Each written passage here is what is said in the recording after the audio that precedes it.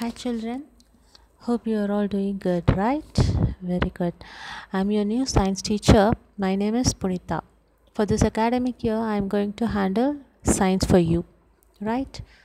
Well, before going to the subject, we had something to discuss. Shall we? Okay, then. Consider two persons. One is stout and another one is lean. Among them, who will be more strong and more, more energetic, whether the stout one or the lean one? Can anyone guess? No? Yes? Right. What will be your answer? The stout one will be a more energetic one and he can do the work, right?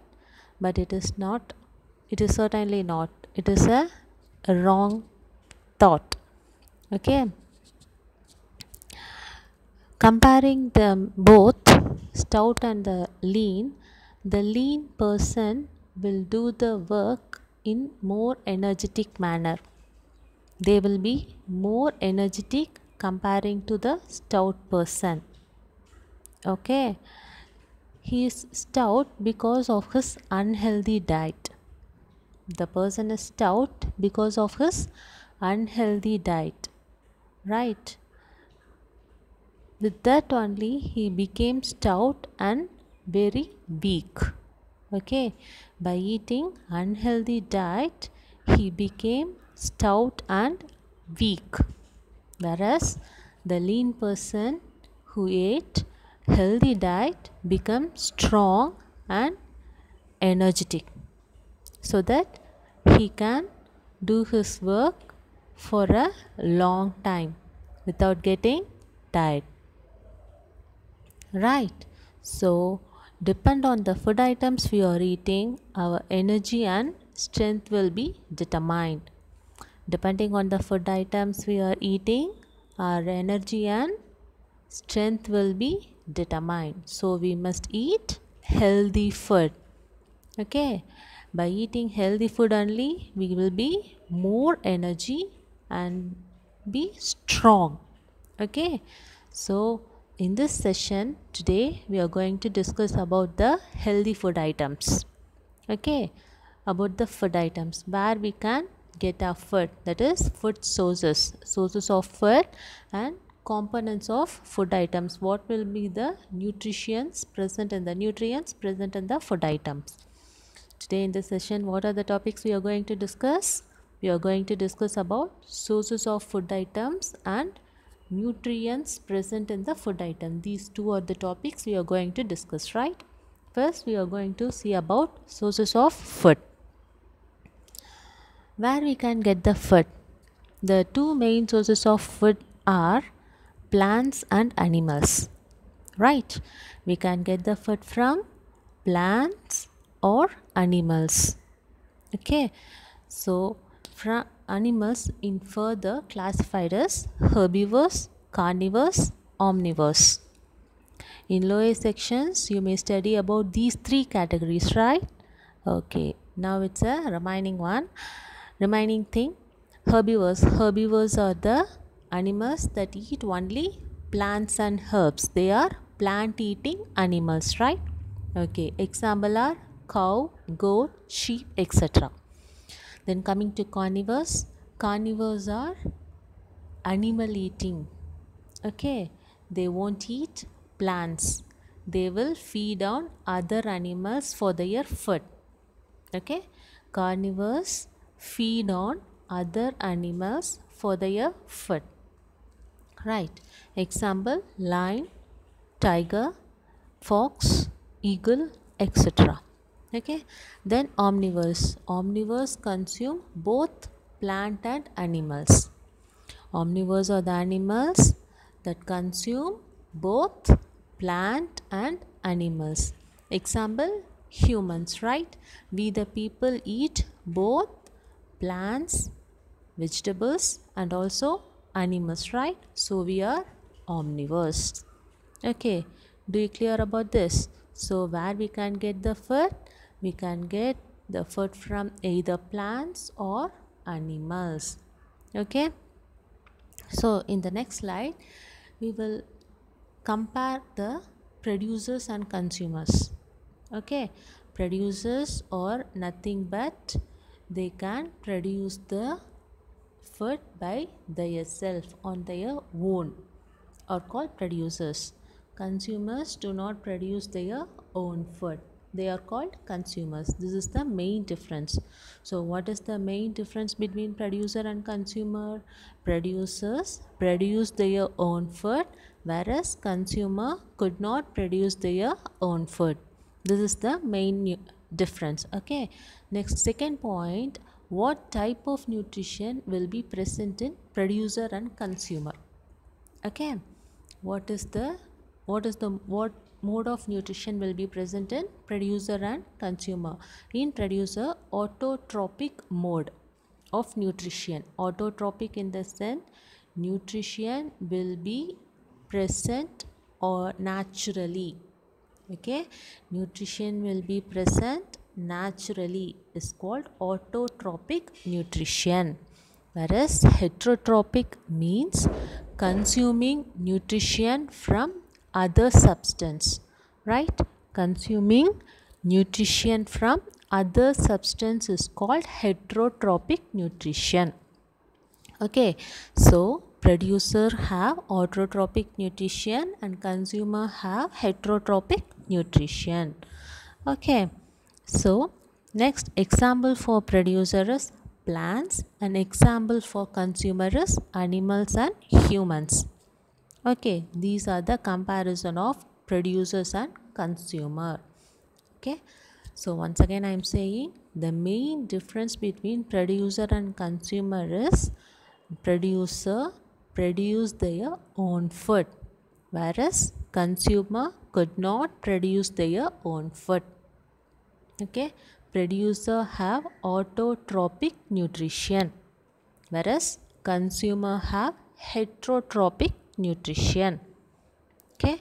Example for producer is plants an example for consumer is animals and humans. Okay? So next we are going to see about components of food. Okay? The food we are eating gets digested and produce energy. The energy is utilized for doing work that is doing actions. Have you clear about that? Food food we eat will get digested and produce energy. With the help of it, help of that energy we will do our actions. Okay. How what is the main content of energy? How the energy is used by the different parts to do their function. What is the main component? We have to think about that now, right? So now let now we are going to see about that component.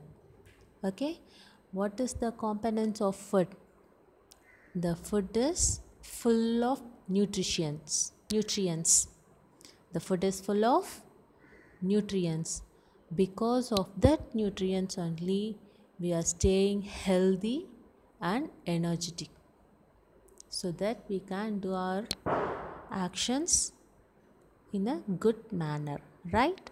Now we are going to see about what are the nutrients present in a food item right?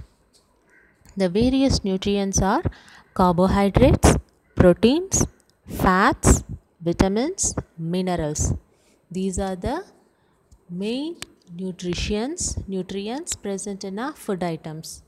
What are the nutrients present in our food items? Carbohydrates proteins fats vitamins minerals. Right. In these now we are going to see about carbohydrate. Okay? What we are going to see about? Carbohydrates. Right. Carbohydrates produce instant energy what it will produce? Instant energy. Okay? It can be easily break down into simple forms. Carbohydrates can be easily break down into simple forms so that it produce instant energy. Okay got it? Will you clear? Right what are the food items that is rich in carbohydrates? Let's see. The food items are beet, potato millet maize sugar banana grape etc okay? The food items that are rich in starch and sugar products are the main ingredients for carbohydrates. Okay? Carbohydrates present in starch food and sugar products. What are the starch food wheat potato millet maize. Okay? And sugar products are sugar cane banana and other things. Okay? These are the food items that are rich in carbohydrates. Okay? Carbohydrates provides instant energy by breaking down into simple forms. Since they break down into simple forms they provide instant energy. Okay? What are the food items rich in carbohydrates? Potato wheat millet sugarcane banana etc by consuming these food items we can gain carbohydrate. Right? Okay. So next we have to test a food item whether it contains carbohydrate or not. Okay? So how we can test a food item whether it, it is rich in carbohydrate or not? Here it is. Okay? For testing we have to take a test tube a small piece of food item to be tested, an iodine solution and a burner. Right? For testing, you have to take a test tube, a small piece of food item to be tested, an iodine solution and a burner. Okay? First, crush the food item, say potato. Okay? The food item you took for testing is considered as potato. Okay? So first crush the potato and add it add it along with water. Okay? And add that crushed potato into the test tube and shake it well along with water. Okay? Then burn it for few seconds. Okay? Then heat the test tube for few seconds and make it to cool. Okay? After cool down then add little amount of iodine solution. Now see the result. Okay the solution becomes blackish blue. This results the presence of carbohydrate in that particular food item. Okay how will you test? Crush the food item shake it well along with water then heat the solution for few seconds made it to cool. After cooled down add little amount of iodine solution to that. Okay? Now observe what will happen. The solution turns blackish blue which represents the presence of carbohydrates in that particular food item. Okay? Likewise you can test the food items for the presence of carbohydrate. Okay? So next we are going to see about fats. Fats is a important nutrition which produce energy for to our body. Okay? Fat is also an important nutrition which produce energy to our body through which we can do various action. Okay? But by consuming too much fat will result in obesity which will be a disease. Okay? By consuming too much fat items results in obesity. So we have to consume the fat in a little amount or little proportion. Okay, so what are the sources of fat? What is the food items that are rich in fat? Let's see. All oil substances. Okay, all oils like groundnut oil, coconut oil, sesame oil, etc. All oils are rich in fat. Okay, and also nuts, cashew nut, walnut. These nuts also rich in fat. Okay, and then eggs, milk, and milk products. These are the food items that are rich in fat content okay so we must consume this these food items in a small or little manner little amount. Okay. It referred as long term energy. It senses that it gets stored inside our body as and when required we can utilize that. Okay. The fat get stored inside our body as and when required the fat will be utilized by our body. So this referred to as long term energy. Okay have you cleared? Fat is a nutrition nutrition it provides energy for our, to our body. Okay fat is a nutrition that provides energy to our body. The fat rich contents are oil, all oils, coconut oil, sesame oil, groundnut oil, etc., cashew nut, walnut, eggs, milk, and milk products. These are the food items that are rich in fat. Okay, consuming over fat will result in obesity okay so we must consume in a little manner okay so it is referred as long term energy which means it will stored in our body. As and when required it will be utilized. Okay? So then how we can test the fat content in our body?